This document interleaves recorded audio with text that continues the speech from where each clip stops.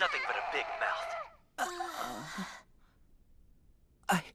I won the bet. Ah, well, guess I let my guard down.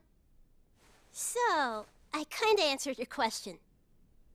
But I guess I can go ahead and make it official for you if you want.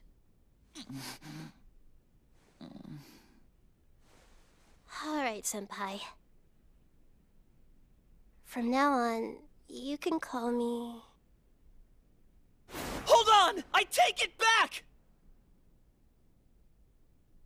Eh? Uh, I mean, look, this isn't me saying I'm not interested. Mm, mm?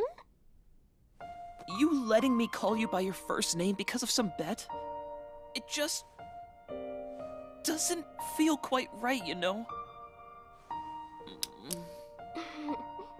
Sheesh! Has anyone ever told you how much of a dork you are? You, mostly. And I'm sure you're probably right. But even so, I want to earn it. So when I'm ready, I won't hesitate to ask you. Wow, so formal! How long have you been saving that one, Creeper? But sure, ask me. When you're ready. Sound good? Yeah, sounds good.